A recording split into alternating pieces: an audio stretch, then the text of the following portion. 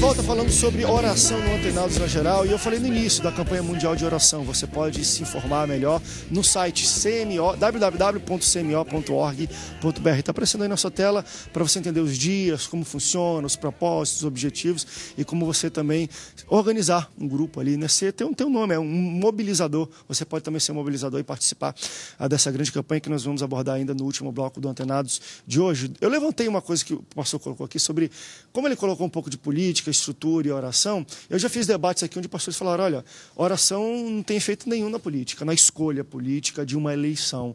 Portanto, não fique orando, vote. Era um pouco dessa palavra. Isso aqui deu um debate de louco aqui no Atenas, na geral.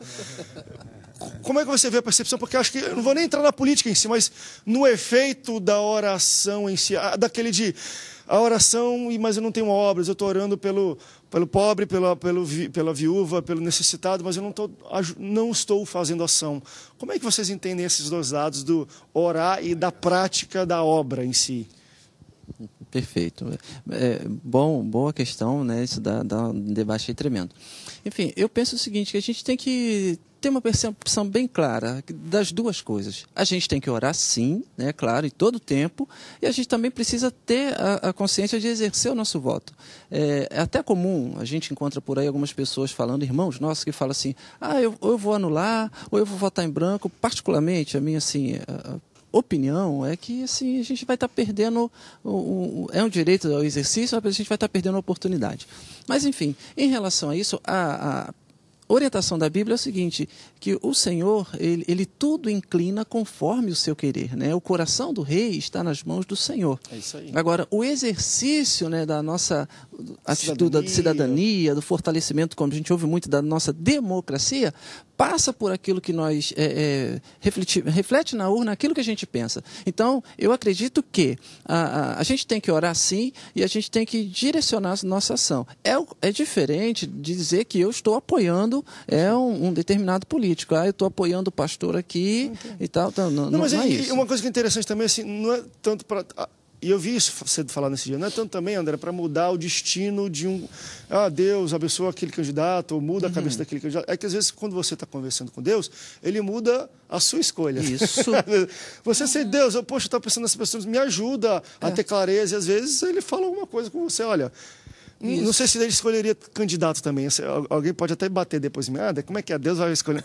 Não, mas Deus às vezes muda o teu coração para como você vai lidar com situações assim. Uhum. Não só no voto, em qualquer exercício de cidadania, Exatamente. de ajudar pessoas. Acho que a oração não é tanto para mudar a situação, é mais para mudar você também. Né? A gente ora muito pela situação, mas a gente vê que no fim das contas Deus muda a gente ao invés da situação uhum. e a gente através de um exercício, de uma ação, podemos mudar a situação. Há um princípio que diz que é, quando eu estou orando, né, eu preciso se, tá, ter consciência clara de que eu sou a primeira pessoa que pode ser resposta da minha própria oração. Então, se eu estou orando pedindo a mudança, eu devo ser essa mudança, estar tá disposto a ser agente dessa transformação. A questão da oração é, para questões políticas, acredito incondicionalmente que, assim como todos, todas as ações que dependem do homem, e a Bíblia ensina em diversas coisas, o agir, o organizar, aquilo que você pode fazer, Jesus manda fazer, né? tira pedra, o que, que temos aí, cinco pães, dois peixinhos, enfim, tudo a ação do homem e o passo de fé. Acredito que a oração é incondicional e negociável, tem que ser feito. Agora, as ações que a pessoa tem que tomar em relação à determinação política, primeiro é exercício do voto, e segundo, ele tem que se lembrar que ele também é um político. Nós vivemos num contexto político-social. Então, se você quer mudanças lá, você tem que ser mudanças cá. Como político, como social, você tem que ser a referência que você quer que a sociedade tenha, para que aí sim você comece a mudança. Então, requer a oração, mas também requer muito mais a ação. Não que uma tem mais peso ou menos peso. Em todas as circunstâncias, a oração é incondicional. Agora, a ação também, né? Se eu vou deitar numa rede, assim, eu quero, eu quero ter um bom emprego, sem uma boa formação, manda uma que eu tô aqui. Não funciona. Né? Talvez a, Você talvez tem que ser a... referência na sociedade. Trabalho, honestidade e a oração. Deus vai dando a direção. Relacionamento, intimidade. Foi o começo, né? E talvez aquela percepção, né? Da bíblico, especialmente é, do Velho Testamento, né, de que ah, Deus levantava e, e, e, tirava reis, né, imperadores. E talvez quando se diz assim, a, a oração hoje ela tem efeito para colocar ou tirar né, um, um, presidente do Brasil, por exemplo, né, ou um governador do nosso estado, ou um prefeito do nosso município, que efeito, que poder a oração tem nisso? Porque hoje é, o, o, mundo não vive debaixo de uma teocracia, Exato. não é isso? Eu acho que a questão pega exatamente aí. Agora, a partir então de nós, né, como você colocou, como foi bem, bem colocado aqui, a partir de nós, será que se nós tivéssemos a consciência do poder que existe no relacionamento, na intimidade com Deus, na busca da orientação é, divina, para que nós pudéssemos tomar as nossas decisões nesse nível temporal que a gente vive, né? nesse nível é, material e humano, será que talvez nós não tivéssemos maior influência em tudo isso? E quando você tira um pouco a influência do espiritual, naquilo que é secular e político até mesmo, então você está dizendo o quê? É, Deus está fora do governo das coisas que acontecem no, no nosso universo, na nossa dimensão hoje? Não ele continua no controle. Até mesmo, né, todas essas questões que a gente é, é, tem visto em termos de, de é, calamidades ou em termos é, de, de perseguição à igreja e tudo isso. Se você é, buscar na palavra, você vai ver que está lá. Né? Nada está fora do controle de Deus. Então, eu entendo que sim. E essa é uma das grandes propostas da campanha mundial de oração. Né? Uma das grandes propostas é que nós estejamos clamando é, pelos povos, pelas nações, pelos governos, é, pela igreja, a igreja de Cristo como corpo, né? que nós estejamos intercedendo para que possa vir um tempo de, de mudança, um tempo de avivamento. Sei que alguns não, não entendem e não acreditam que através de uma, um levante, um, um, um despertar de oração como esse, por exemplo, o mundo possa ser mudado. Mas se nós não cremos nisso, então eu acho que nós estamos negando algumas porções bem claras, né, e direcionadas da palavra, porque Deus é soberano, o Senhor pertence à terra e tudo que nela se contém, não é isso? E dentro dessa percepção. E a questão da intercessão pelos pelos governos instituídos, né, é um mandamento claro também, né? A igreja deve interceder pelos governos é. instituídos. Até porque nós, como cristãos, nós entendemos que a autoridade política ela é constituída pelo Senhor. Então nós devemos orar por eles. E quando a gente fala em termos de mudanças, a mudança a gente entende que a mudança vem através da oração, através de um avivamento. A mudança ela tem que partir através de nós, como igreja do Senhor, nos posicionarmos e orarmos, né? Como a palavra de Deus diz que se o seu povo que se chama pelo teu nome se humilhar e orar e buscar e se converter dos seus maus caminhos, que o Senhor, ele perdoaria os nossos pecados e sararia a nossa terra. Então o Senhor, ele ele pode fazer, isso mas isso é depende... é exatamente isso mesmo. Porque, às vezes a gente ora pensa que não, mas a gente ora por tabela. Porque quando a gente ora por uma questão social, Deus, tantas crianças passando fome na rua, não sei o quê, querendo não, esse processo passa por nós, pela igreja, mas passa por um processo político de administração, de distribuição de renda. É algo muito além que às vezes a gente nem entende, mas Deus, Deus sabe para onde vai, ele vai sondando e ele vai fazendo as coisas acontecer. Eu acho que de pouquinho.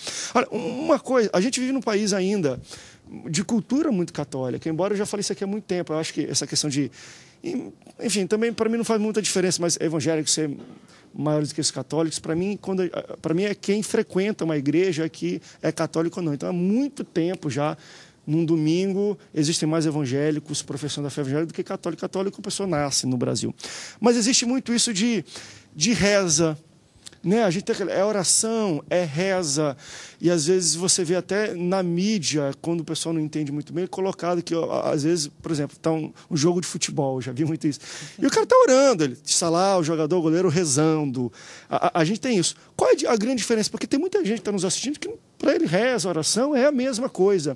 Vocês veem uma diferença muito grande, enfim, forte entre o que é oração, o que é reza? Será que a gente tem como explicar? Tem a prece também, né? Vou fazer uma prece. A prece. É, será que a gente tem como, talvez, didaticamente explicar o que seria, qual é a grande diferença entre prece, entre reza, entre oração? Ou se não tem, André, são nomenclaturas diferentes, de acordo com cada religião usa. Olha, só a questão da reza em relação à oração, o que, o que eu percebo e que eu tenho como conhecimento de diferença é que, geralmente, os católicos eles rezam por uma intercessora, talvez às vezes por Maria e fala para Jesus. Alguns credos católicos fala também do reconhecimento de Maria. Alguns credos católicos também falam de Jorge. Então, esses detalhes que podem ser o grande diferencial. Agora, se você ora em nome de Jesus, ou se você reza em nome de Jesus, meu irmão, o nome que você vai dar, o que você está fazendo, pouco importa. Você está falando direto com ele, o véu se rasgou. E é com ele que você fala direto. Então, eu creio que se ele está falando em nome de Jesus, é uma oração. Se for reza, pode chamar de reza. Mas, mas é não tem um pouco, pelo menos pela, pela nossa parte Ritualístico, né? É, uma, uma dificuldade no, no, sentido de. Embora, claro, Jesus ensinou o Pai Nosso, vamos lá, é, é algo decorado, a gente é muito contra não sei porquê, talvez porque a gente quer se afastar um pouco da questão do catolicismo, a gente bota de não, não, nada, a gente aqui não ora nada decorado, nada lido, é algo muito espontâneo. Você vê em, ter, algum, em termos assim de, eu, eu não sei, né? Em termos da palavra, terminologia da palavra mesmo, eu não sei se tem muita diferença. Mas culturalmente e vamos dizer assim, naquele conhecimento, aquela elaboração mental nossa tem sim, né? Por exemplo, você alguém pede para você, ah, você é, faz uma reza por mim lá na sua igreja. A primeira reação nossa vai ser qual? Não, vou orar, vou orar por você. você. A gente já manda, não, né? não vou rezar, não, vou orar. Vou orar por você. A gente tem dificuldade de, porque, de assemelhar. Isso, porque a, a questão é, ela fica muito vinculada a esse processo de repetição. Né? Por exemplo, se você fala assim, ah, vou rezar o Pai Nosso, você não tem tanto choque, por quê? Porque o Pai Nosso é uma oração que vai sendo repetida, né? E sempre as mesmas palavras, embora a gente saiba que tem uma profundidade de conteúdo, mas agora, se você vai, vai falar com Deus, como foi colocado aqui, espontaneamente, então você já entende isso como uma oração. Né? Então, eu acho que pelo menos no, numa elaboração mental, é, para evangélicos e católicos, né, a, a, reza e a oração têm duas é, dimensões ou duas frentes, perspectivas Tem diferentes. detalhezinhos a mais, né? O católico às vezes ora até pelos mortos, pede para orar pelo, na hora Isso. do enterro, pede para orar não pelos vivos. Direcionamento. Exatamente, pede direcionamento para oração, não, para reza. Para reza. Mortos, né? É... E geralmente com palavras já é- pré-concebidas. É, é, bom lembrar que nós, temos, nós somos católicos, apostólicos, só não Sim, somos romanos. Só então, somos romanos. É, a ideia Acho que é coisa para outra discussão, é, né? É, a, a ideia era protestar, era reformar. Ficamos protestantes porque não foi aceito. Então, nossa raiz está lá. Não, não, me admire e eu também já pratico isso, às vezes de orar pautada na Bíblia. Usar referências e, um, e uma das defesas. a uma oração sistemática comum na Igreja Católica, apostólica isso, romana, isso. entendeu? Ou outra apostólica, enfim, romana. Então, é, é, uma prática comum, não vejo um grande problema, porque você está orando pautado na palavra. na palavra. E a palavra tem valor, a palavra né? tem efeito. E uma das grandes defesas da, da reforma protestante era o retorno do sacerdócio universal. individual. Exatamente, né? sacerdócio universal. O crente sendo um sacerdote. Então, Exatamente. isso implica na, na, intercessão e na oração, né? Isso, e tira um pouco esse conceito da, da reza em si. Né? É, eu fui criada na igreja católica, então conheço muito de reza. Meus pais, meus avós eram católicos e aos 17 anos eu fiz a opção e aceitei Jesus. Então, para mim, como pessoa, indivíduo, a diferença entre a, a reza e a oração é o conforto que eu sinto quando eu estou orando. Porque, na verdade, quando eu rezava, eu falava algumas palavras decoradas, era uma reza pronta, eu não colocava na minha oração o meu sentimento, eu não colocava na minha oração o meu desejo, eu não expressava para Deus aquilo que eu tinha em projeto. E o que faz a diferença para mim como pessoa é o momento que eu estou orando, é de verdadeiramente eu sentir o Espírito Santo de Deus falar comigo e saber que Ele, que ele está me ouvindo, é eu é, terminar aquele momento de oração e o meu coração continuar ansiando por aquele momento de orar, por aquele momento de entender que a minha oração foi ouvida, de sentir o conforto que eu sinto quando eu oro, de saber que a minha petição ela está sendo ouvida por Deus. Então, como pessoa, como indivíduo, eu coloco aqui nessa manhã dessa maneira. A diferença que eu, que eu sinto não que eu veja, é, uma, é, um, é o sentimento. No meio dessa conversa, o pessoal até na internet meter mais uma. Mas isso, aí, é, isso aqui vai Opa. dar um debate embora, vai embora se, se a gente ficar nisso. E meditação, é a mesma coisa? E meditação já vai para outro canto já. A gente vai para um rápido break, daqui a pouco a gente volta. Vamos falar um pouco sobre oração coletiva individual. Ah, o local geográfico muda, a oração é forte quando é no monte ou em Israel e aqui não. Vamos falar um pouco sobre essas essas místicas que existem por trás da oração. A gente vai para um rápido break, não sai daí, a gente volta já já.